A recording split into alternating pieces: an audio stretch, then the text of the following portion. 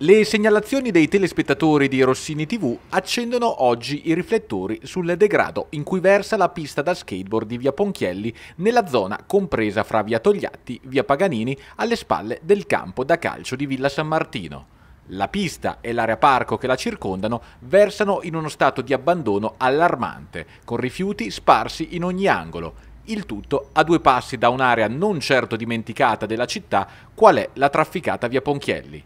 Ce n'è per tutti i gusti, dai rifiuti pericolosi come vetri di bottiglie rotte, pezzi di legname sparsi qua e là, oltre a sporcizia dei generi più disparati, dai resti di bivacchi e picnic di vario genere, fino addirittura a magliette e indumenti abbandonati. Il bidone c'è, ma è pieno oltre misura. Un luogo dimenticato dalle operazioni di pulizie, ma non dagli skaters della città che regolarmente frequentano questo spazio per ritrovarsi e praticare la loro disciplina. Le piste presenti vengono tra l'altro frequentate nonostante l'accesso non sia così scontato.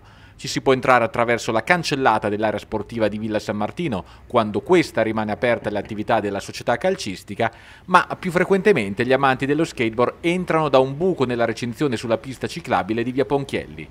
Ci si infila, si fa un bel salto all'interno e non manca l'ironia della situazione, visto che qualcuno ha pensato anche di disegnare una scala per agevolare con l'immaginazione entrata e uscita.